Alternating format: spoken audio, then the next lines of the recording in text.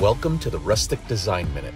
Meet Deborah and Marisol, Okay, say it all over again. Hi, I'm Deborah. And I'm Marisol. your passionate and creative hosts who will guide you through a world of warm textures, reclaimed wood, and cozy accents. Let's unleash the rustic designer in you. Hi guys, welcome back to our channel. I'm Marisol.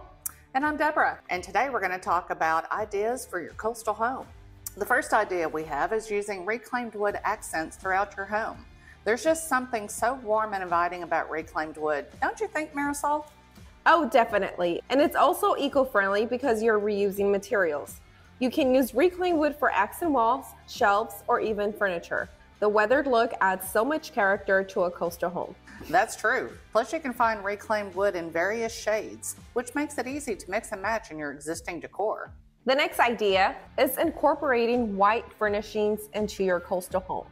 White furniture creates a light and airy atmosphere, perfect for a seaside retreat. I couldn't agree more, Marisol. Opting for whitewashed seating, tables, or accessories not only brightens up your space, but also complements the rustic elements. You can even consider using slip covers to make it easy to maintain and keep clean. And don't forget, you can always add pops of color through throw pillows or blankets, making your space feel cozy and inviting. Moving on to the third idea is using nautical accessories as a way to blend rustic and coastal styles. What kind of nautical elements do you love, Marisol?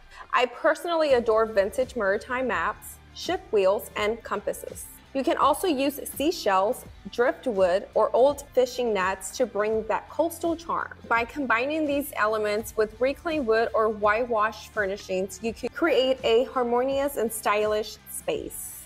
Great ideas, Marisol. And remember, you don't have to go overboard with nautical accessories. A few well spaced items can make a significant impact. Now, our fourth idea is to incorporate texture fabrics. Linen, jute, and natural fiber rugs are perfect for adding warmth and depth to a room. Absolutely. You can also use burlap for window treatments or table runners. These natural fabrics work beautifully with rustic wood elements and white furniture, creating a cohesive and inviting atmosphere. Well, that wraps it up for today, folks. Don't forget to like, comment, and subscribe. See you next time. Bye. The first idea we have is Blow your breath in my face. coffee breath. oh, definitely.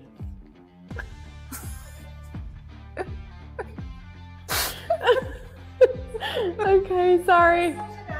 Oh, definitely. Well, you're blind too, right? yes, ma'am.